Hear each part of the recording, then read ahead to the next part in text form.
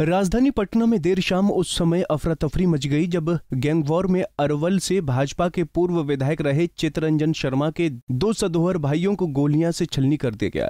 ज़िले के पत्रकार नगर थाना क्षेत्र में चित्ररंजन शर्मा के दो भाइयों, शंभू शरण और गौतम सिंह की गोली मार हत्या कर दी गई।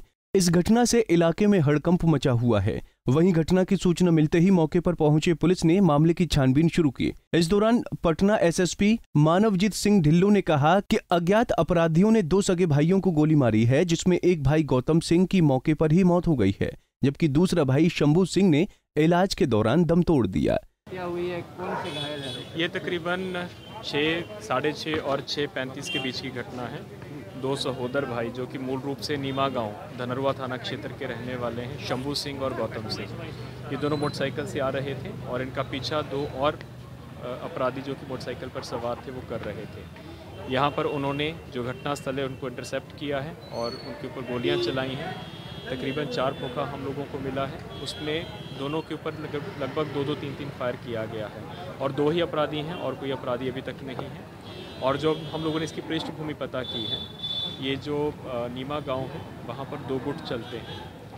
और इसमें जो एक गैंग रेवलरी टाइप का है, इन दोनों गुटों के बीच में पहले भी बहुत हत्याएँ हो चुकी हैं। और उसी में ही प्रथम दृष्टिया लग रहा है कि आपसी विवाद में इनकी हत्या करवाई गई है।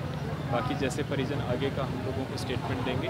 प्राथमिकी दर्ज करके हम आगे की कार्रवाई करें सर घटना कितने बजे की है? घटना छः तीस और छः पैंतीस के बीच। सर अपराधी पता चल रहा है अगम कुआ से रेकी करके पत्रकार नगर थाना क्षेत्र में इंटर है।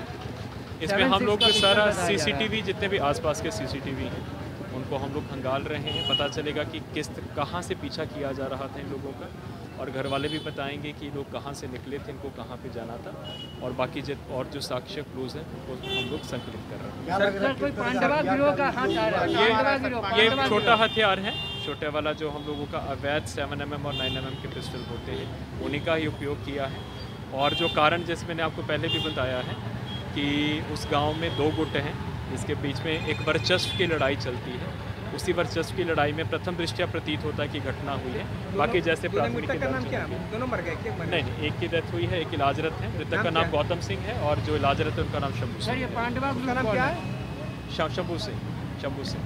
बताया जा रहा है कि नीमा गाँव में दो गुटों के बीच लंबे अरसे से वर्चस्व को लेकर गैंगवॉर चल रहा है जिसमें कई लोगों की हत्याएँ हो चुकी हैं। इसी क्रम में दोहरे हत्याकांड को जोड़कर देखा जा रहा है फ़िलहाल पुलिस अपराधियों की गिरफ्तारी के लिए लगातार छापेमारी कर रही है। पंजाब केसरी टीवी के लिए पटना से संजीव की रिपोर्ट। हमसे जुड़े रहने के लिए हमारे YouTube चैनल को सब्सक्राइब करें और नई वीडियो की नोटिफिकेशन के लिए बेल आइकॉन को दबाएँ।